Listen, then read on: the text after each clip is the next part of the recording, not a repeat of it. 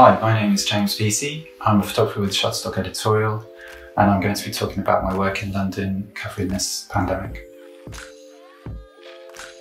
So I've been a photographer for about 18 years, and I joined Shutterstock in early 2019. The work I cover has always been quite varied, so from entertainment to news to royalty, so anything from protests, uh, political elections to red carpet events, premieres,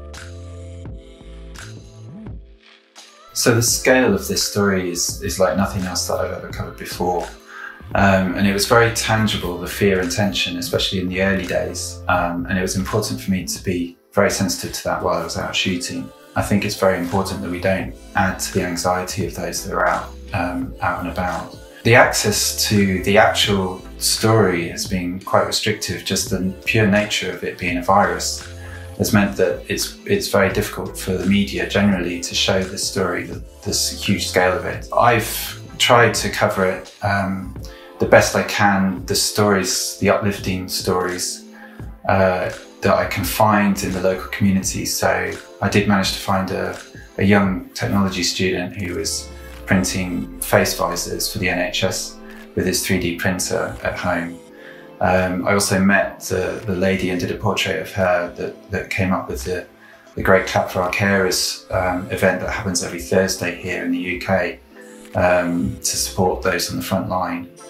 Um, but yeah, it's, it's been difficult. I think it's been very tricky generally to, to really convey the scale of this. So a typical day, I get up quite early and I try and check all the news media outlets, Twitter, um, to see if there's anything breaking. I then normally head into Downing Street. We have to get there very early these days because of the new social distancing rules. Because if you want to get that head on straight to number 10 Downing Street door shot, uh, which I sometimes want, um, it's become incredibly competitive and the police are very adept at keeping an eye on us uh, social distancing. After a morning there, we normally wire straight from the street because there's nowhere to go to wire from now at the moment because of the lockdown.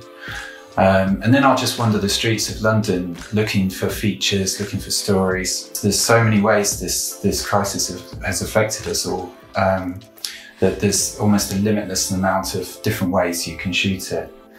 So that can be from anything from the graffiti to people wearing masks uh, places, businesses shut down, pubs, restaurants, um, to the more uplifting stories.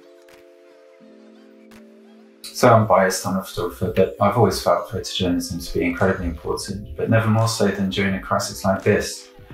As news gatherers, I think we're all incumbent to tell the truth, find the stories, inform the public what's going on out there, put pressure on the politicians, um, those in higher authority, if they need to make uh, changes to policies, not obviously shooting or writing for today's websites or tomorrow's papers. We're also providing future researchers and writers and historians the first account of this pandemic, this crisis, and help the, the general public record um, uh, inform um, decision making.